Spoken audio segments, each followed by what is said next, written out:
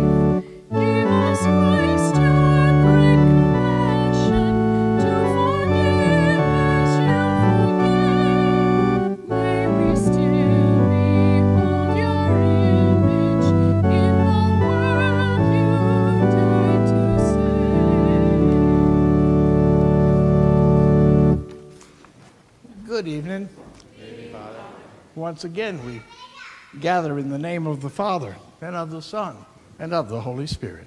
Amen. May the grace of our Lord Jesus Christ, the love of the Father, and the fellowship of the Holy Spirit be with you all. And with your spirit. My brothers and sisters, as we approach the table of the Lord, grateful for his invitation to us, we are nonetheless aware of our unworthiness and pause to ask God's forgiveness. You were sent to heal the contrite of heart. Lord, have mercy. Lord, have mercy. You came to call all sinners. Christ, have mercy. Christ, have mercy. You are seated at the right hand of the Father to intercede for us. Lord, have mercy. Lord, have mercy.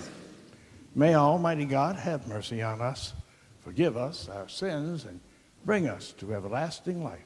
Amen.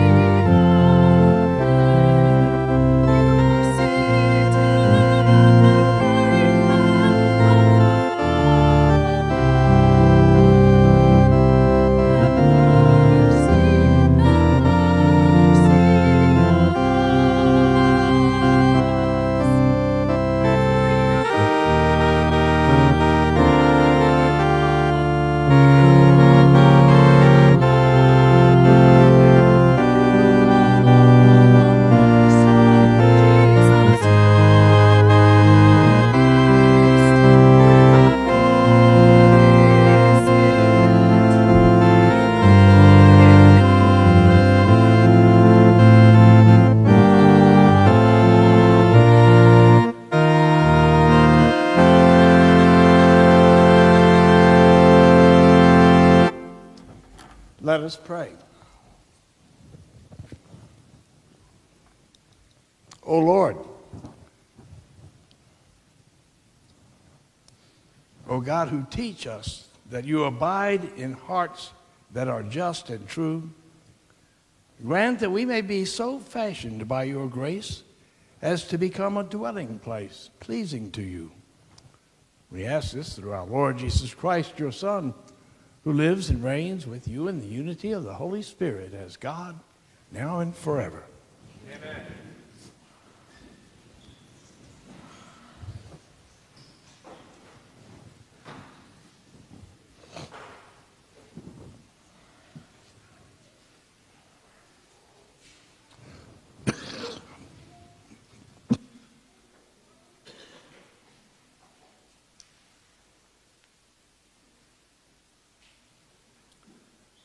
A reading from the book of Sirach.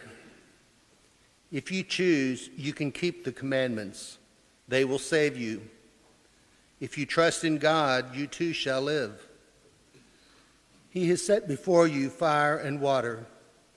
To whichever you choose, stretch forth your hand. Before man are life and death, good and evil. Whichever he chooses shall be given him. Immense is the wisdom of the Lord. He is mighty in power and all seeing. The eyes of God are on those who fear him. He understands man's every deed. No one does he command to act unjustly, for none does he give license to sin. The word of the Lord.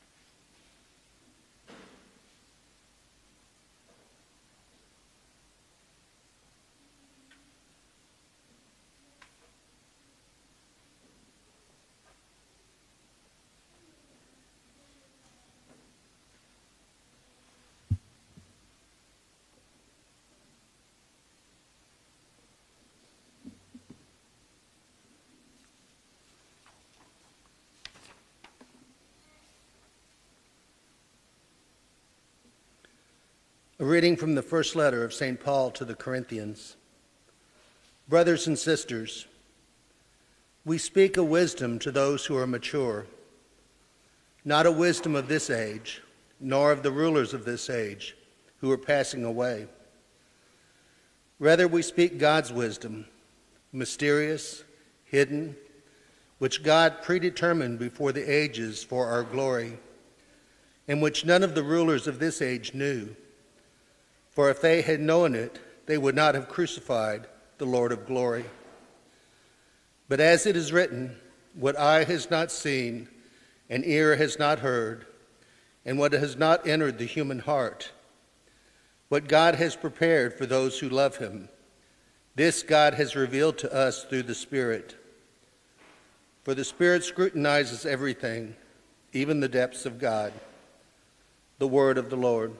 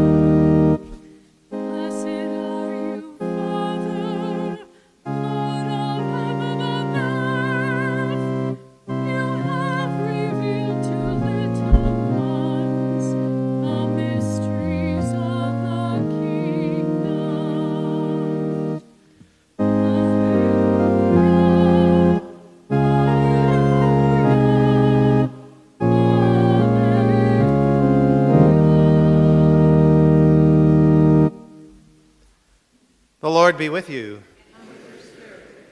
A reading from the Holy Gospel according to Matthew.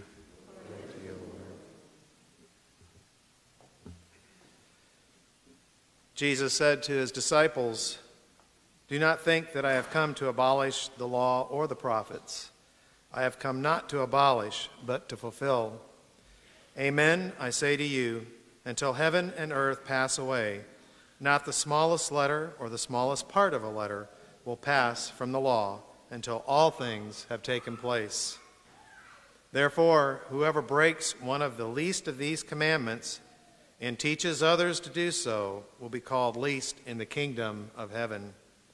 But whoever obeys and teaches these commandments will be called greatest in the kingdom of heaven. I tell you, unless your righteousness surpasses that of the scribes and Pharisees, you will not enter the kingdom of heaven. You have heard that it was said to your ancestors, You shall not kill, and whoever kills will be liable to judgment. But I say to you, whoever is angry with his brother will be liable to judgment. Whoever says to his brother, Raqa, will be answerable to the Sanhedrin. And whoever says, You fool, will be liable to fiery Gehenna. Therefore, if you bring your gift to the altar, and there recall that your brother has anything against you, leave your gift there at the altar, go first and be reconciled with your brother, and then come and offer your gift. Settle with your opponent quickly while on the way to court. Otherwise, your opponent will hand you over to the judge, and the judge will hand you over to the guard, and you will be thrown in prison. Amen, I say to you, you will not be released until you have paid the last penny. You have heard that it was said, You shall not commit adultery. But I say to you, everyone who looks at a woman with lust has already committed adultery in her, with her in his heart. If your right eye causes you to sin, tear it out and throw it away. It is better for you to lose one of your members than to have your whole body thrown into Gehenna. And if your right hand causes you to sin, cut it off and throw it away. It is better for you to lose one of your members than to have your whole body go into Gehenna. It was also said, Whoever divorces his wife must give her a bill of divorce. But I say to you, whoever divorces his wife, unless the marriage is unlawful, causes her to commit adultery, and whoever marries a divorced woman commits adultery. Again, you have heard that it was said to your ancestors, Do not take a false oath, but make good to the Lord all that you vow. But I say to you, do not swear at all, not by heaven, for it is God's throne, nor by the earth, for it is his footstool, nor by Jerusalem, for it is the city of the great king. Do not swear by your head, for you cannot make a single hair white or black. Let your yes mean yes and your no mean no. Anything more is from the evil one. The gospel of the Lord. Praise to you, Lord Jesus Christ.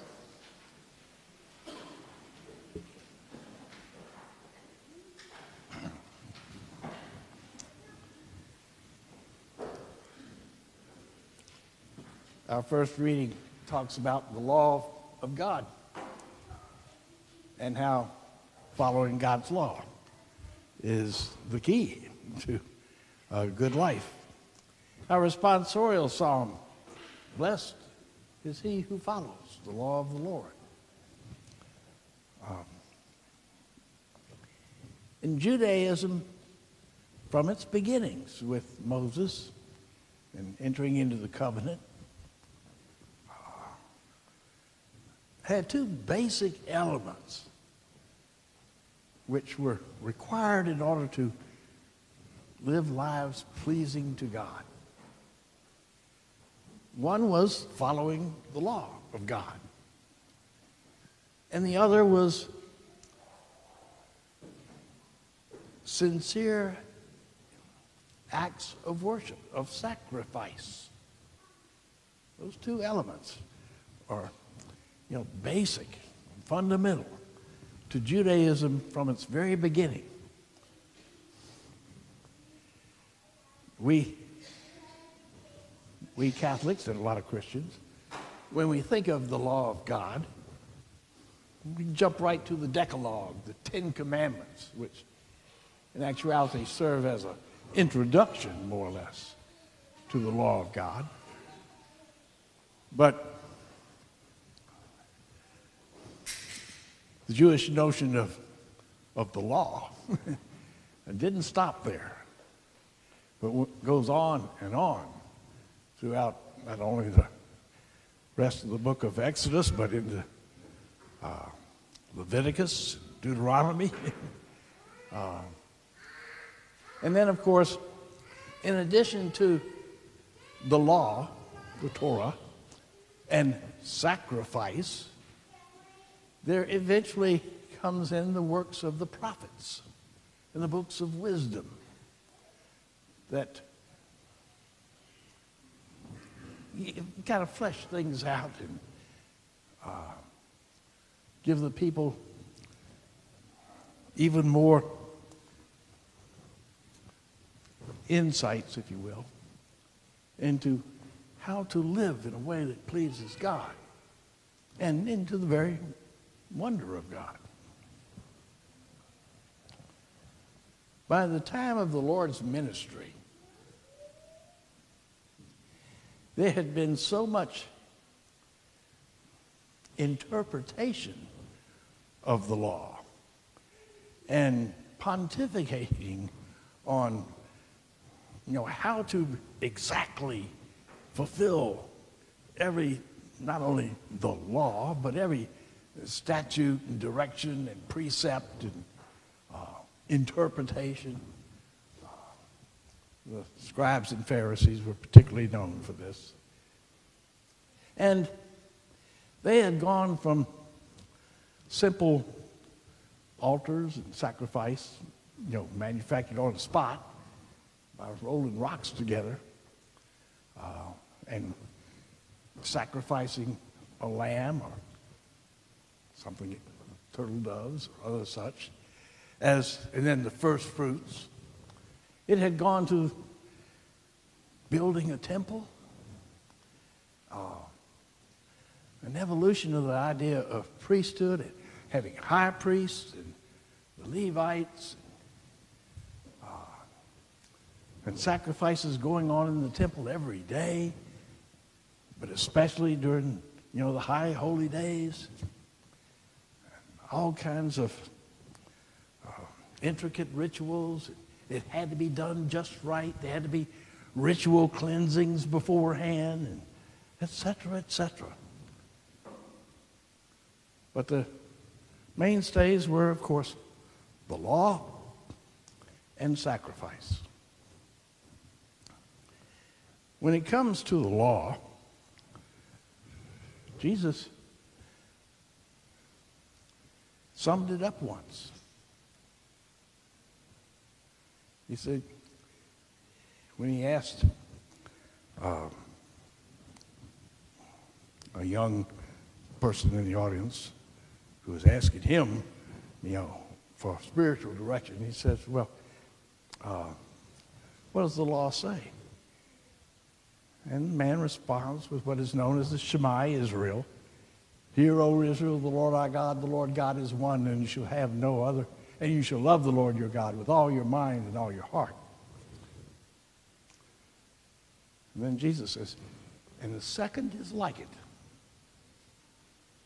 Love your neighbor as you love yourself.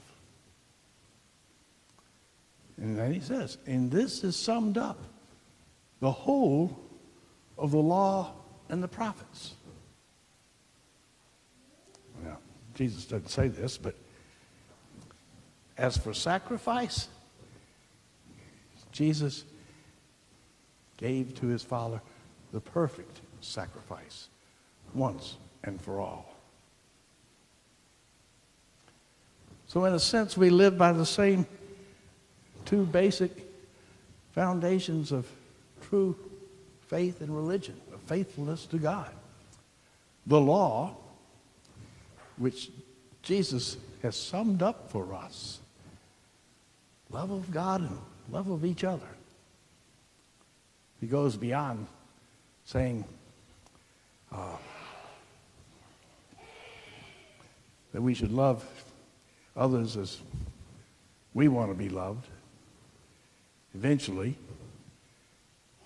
the night before he dies, he tells his apostles and us we're to love each other as he loves us.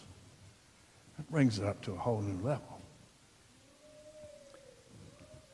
In the Gospel of Matthew, just before tonight's uh, selection, we hear Jesus give his commentary, what part of his commentary on proper moral living, what we call the Beatitudes, the Sermon on the Mount, of which today's reading is part. Uh, we are blessed, basically, when we are a blessing to others. That is our law. That we love God wholeheartedly, and we show that love by our love for one another, which will never be perfect, either one of them. I mean, we'll never love one another as Jesus loves us. But that's what we're to strive for. And then as we approach the sacrifice, the perfect sacrifice, represented to us, uh, not done again and again, one different sacrifice, one after another, but the one perfect sacrifice made present to us over and over again. We are to join in heart and mind, not only with one another, with the church, but we join ourselves to this perfect sacrifice of Jesus Christ. And in this, we are nourished to go out from here to more faithfully live the law of love.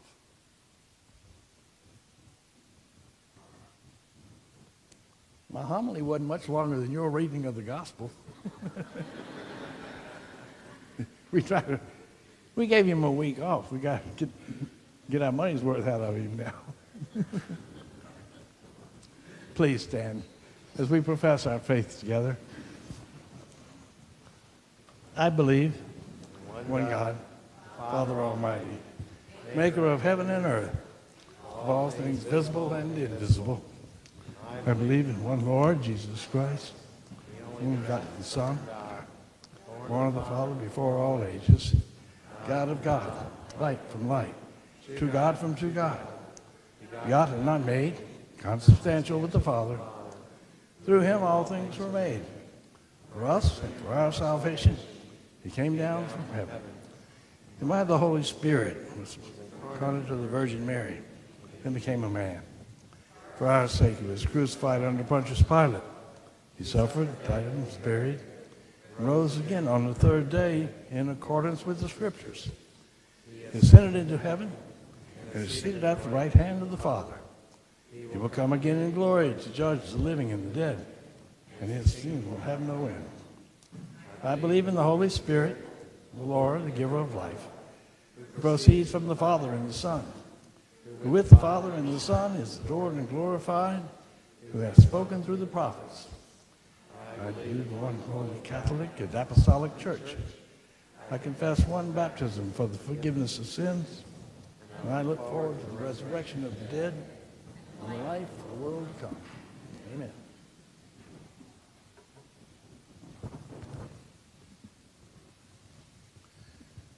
My brothers and sisters, the Lord's Sermon on the Mount provides all of us a clear path on how we should take care of one another. Let us contemplate his words as we pray for the needs of our community and indeed for the whole world. Our prayer response is Lord, hear our prayer. Lord, hear our prayer. For Pope Francis, Bishop Raica, bishops and priests, that they may continue to be ministers of God's forgiveness and reconciliation, we pray to the Lord. Lord, hear our prayer. For all governments and peoples of the world, that they may realize the goodness that God has made and work together for the just use of the earth's gifts, we pray to the Lord. Lord, hear our prayer. For those who suffer for their faith, that they may fearless, fearlessly withstand all the trials that afflict them, we pray to the Lord. Lord, hear our prayer. For our St. Thomas Parish faith community, that we may seek the life and love of God in all things, we pray to the Lord. Lord, hear our prayer. For all who live under the shadow of death and war, especially those living in Ukraine, that they may experience light, peace, and freedom, we pray to the Lord. Lord, hear our prayer. For all those in our parish book of intentions, the sick, the homebound, the incarcerated, all members of St. Thomas, and the men and women of the armed forces and their families, we pray to the Lord. Lord, hear our prayer. For all the souls in purgatory, we pray to the Lord. Lord, hear our prayer. For our beloved dead, that they may share in the glory of Jesus' resurrection, we pray to the Lord. Lord, hear our prayer. Heavenly Father, you have sent your Son, the Word made flesh, to teach us your ways and to lead us into eternal life.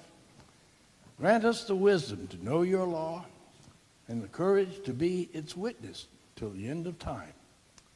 We ask this through Christ the Lord. Amen.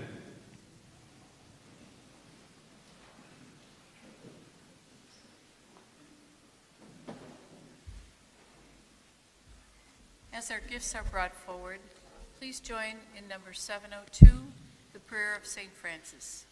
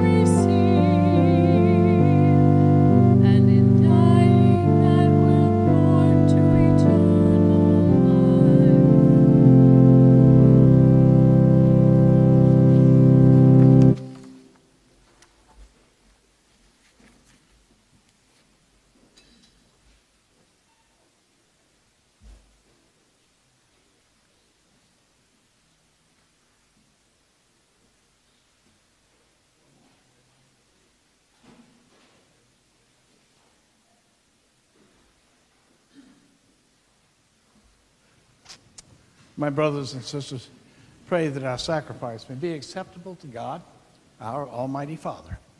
May the Lord accept the sacrifice at your hands for the praise and glory of his name, for our good and of all his holy church. O Lord, may this oblation, we pray, cleanse and renew us. And may it become, for those who do your will, the source of eternal reward through Christ our Lord. Amen. The Lord be with you. And with your spirit, Lift up your hearts. We lift them up to the Lord. And let us give thanks to the Lord our God. it is right and just.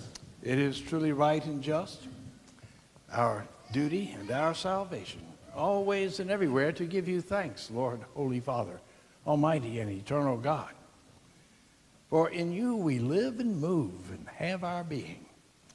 And while in this body, we not only experience the daily effects of your care, but even now possess the pledge of life eternal.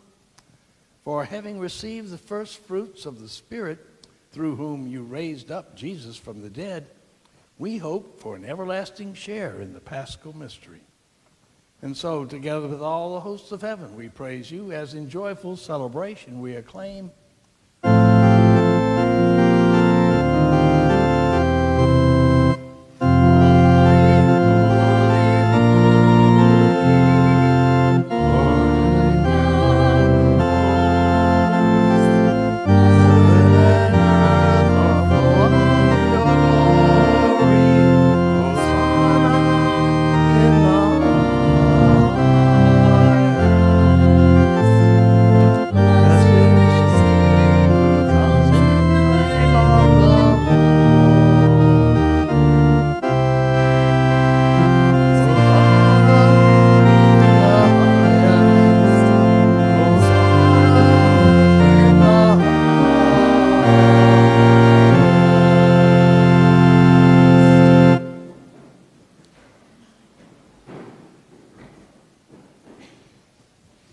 You are indeed holy and to be glorified, O God.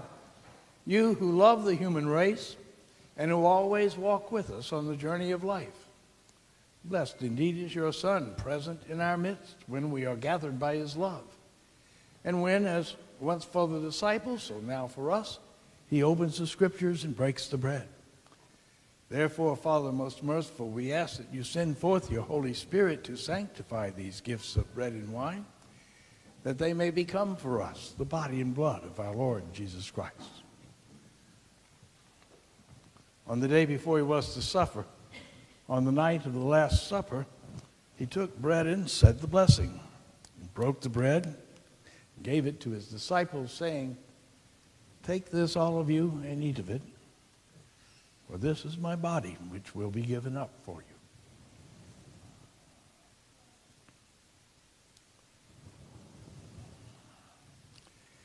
In a similar way, when supper was ended, he took the chalice, gave you thanks, and gave the chalice to his disciples, saying, Take this, all of you, and drink from it. For this is the chalice of my blood, the blood of the new and eternal covenant, which will be poured out for you and for many for the forgiveness of sins.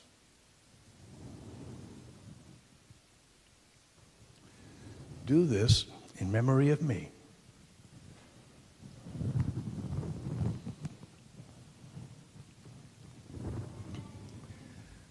The mystery of faith.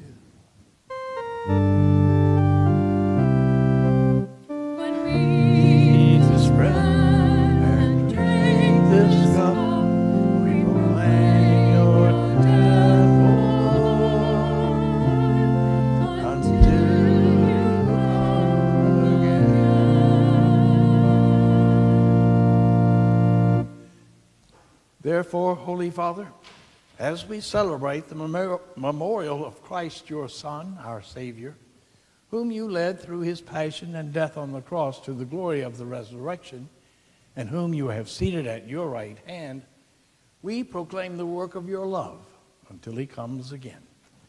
And we offer you the bread of life and the chalice of blessing.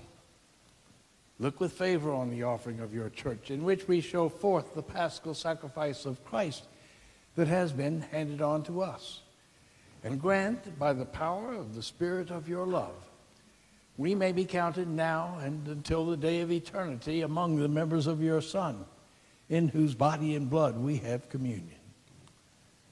And so, having called us to your table, Lord, confirm us in unity, so that, together with Francis our Pope and Stephen our Bishop, with all bishops, priests, and deacons, and with your entire people, as we walk your ways with faith and hope, we may strive to bring joy and trust into the world. Remember our brothers and sisters who have fallen asleep in the peace of your Christ and all the dead whose faith you alone have known. Admit them into the admit them to rejoice in the light of your face, and in the resurrection give them the fullness of life. And grant also to us, when our earthly pilgrimage is done, that we may come to an eternal dwelling place and live with you forever. There, in communion with the Blessed Virgin Mary, the Mother of God, with Joseph, her husband, the apostles and martyrs, with St. Thomas, and with all the saints, we shall praise and exalt you through Jesus Christ, your Son.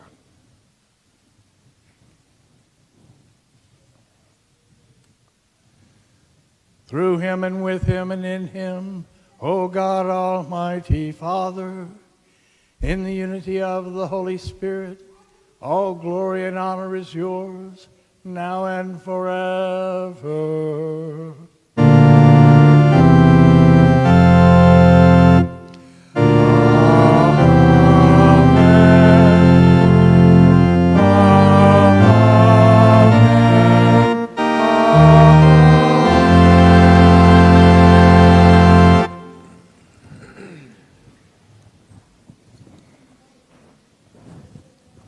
Together we pray now, as the Lord Himself taught us.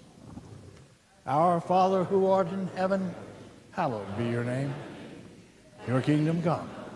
Your will be done on earth as it is in heaven.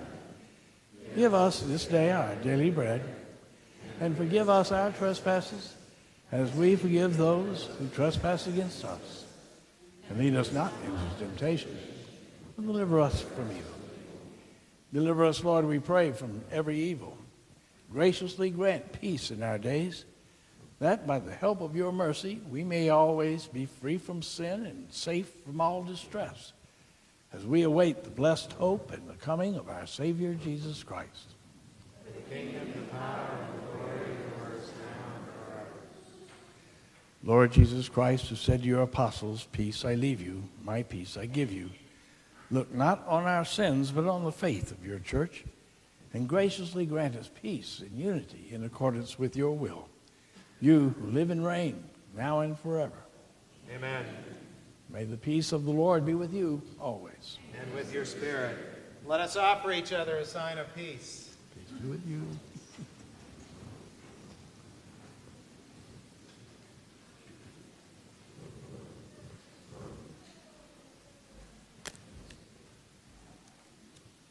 God,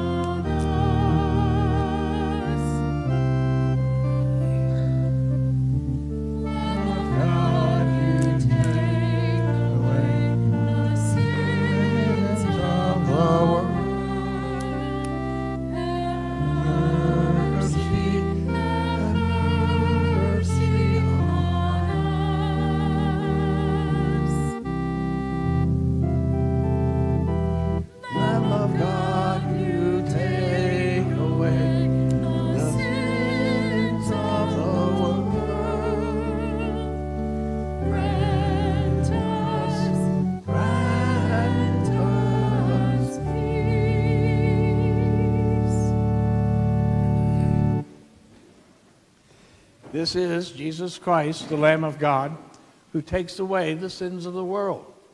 Happy are we who have been invited to the supper of the Lamb. Lord, I'm not worthy that you should enter under my roof, but only said the word, and my soul shall be healed.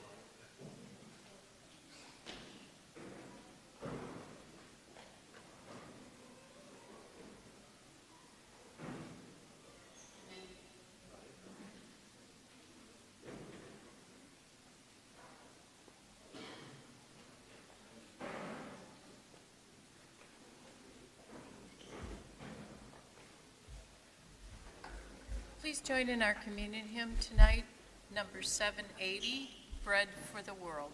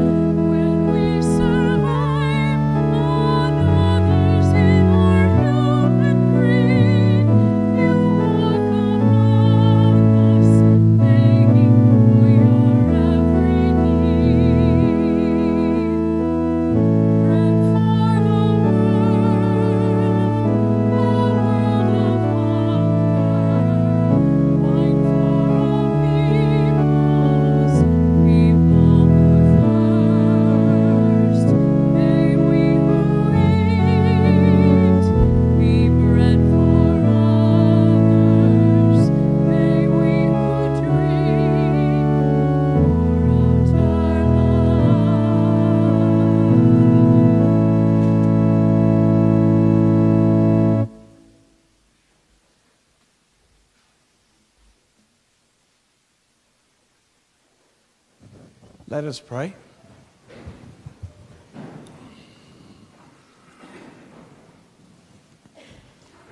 O Lord, having fed upon these heavenly delights, we pray that we may always long for that food by which we truly live through Christ our Lord. Amen. The Lord be with you. And with your spirit. May the blessing of Almighty God, the Father, the Son, and the Holy Spirit come upon us all and stay with us forever. Amen. Go and announce the gospel of the Lord. Thanks be to God. Please join in our going forth song number 741, Holy Wisdom, Lamp of Learning.